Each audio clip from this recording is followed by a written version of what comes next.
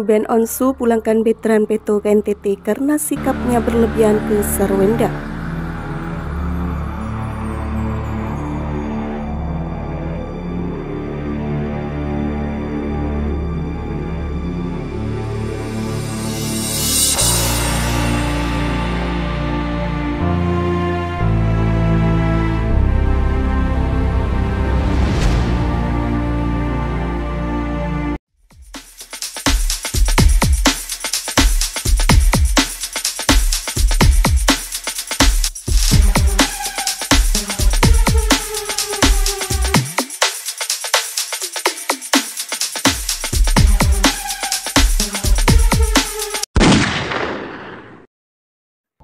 Kedekatan Bitren Peto dengan ibu angkatnya Sarwendah belakangan memantik perhatian warganet.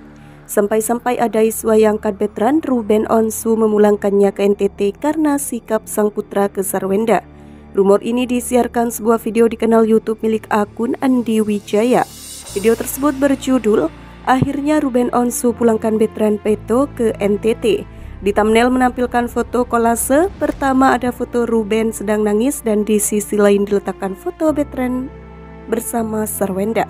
Di foto tersebut ada keterangan akhirnya Ruben Onsu pulangkan veteran Peto ke NTT karena dinilai sudah berlebihan. Sejauh ini video tersebut ditonton 54.000 views 306 likes dan 69 komentar hingga pada saat artikel ini ditulis.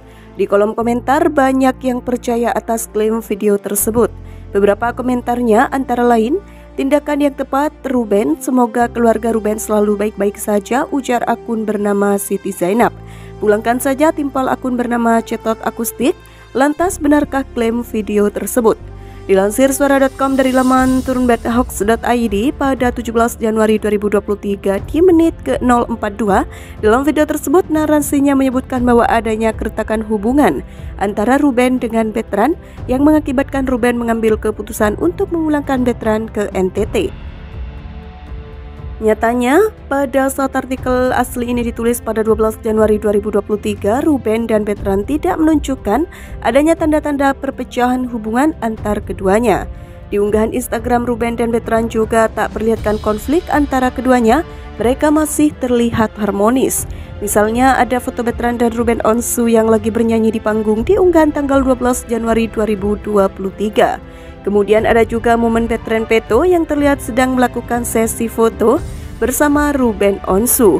Lalu di akun Instagram milik Ruben terlihat sedang melakukan live bersama veteran Peto.